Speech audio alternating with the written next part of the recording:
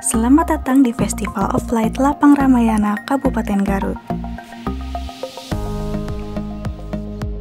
Festival yang diselenggarakan selama 35 hari ini adalah festival cahaya yang pertama kali diselenggarakan di Kabupaten Garut.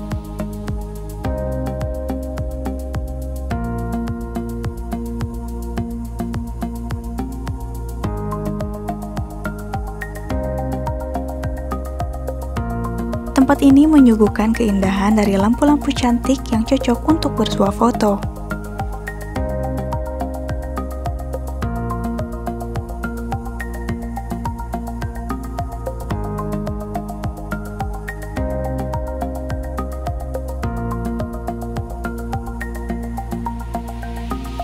Festival ini dibuka setiap hari dimulai dari pukul 4 sore sampai malam dengan tiket Rp20.000 untuk weekday dan Rp25.000 untuk weekend.